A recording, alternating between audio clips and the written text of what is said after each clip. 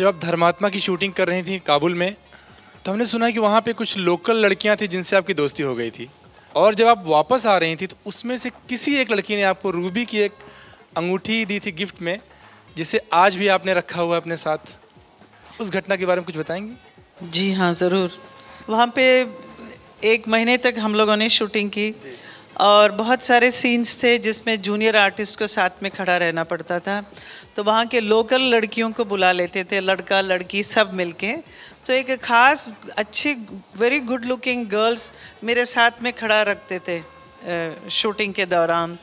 तो जब शॉट के बीच में किसी से बात करना हो तो मैं उन लोगों से बात करती थी जो टूटी फूटी हिंदी बोलती थी। Okay. उनके साथ काफ़ी अच्छी दोस्ती हो गई थी। They very nice lovely girls beautiful girls उनमें से एक लड़की ने मुझे रूबी का रिंग दिया था जो मैंने अभी तक पहना हुआ है।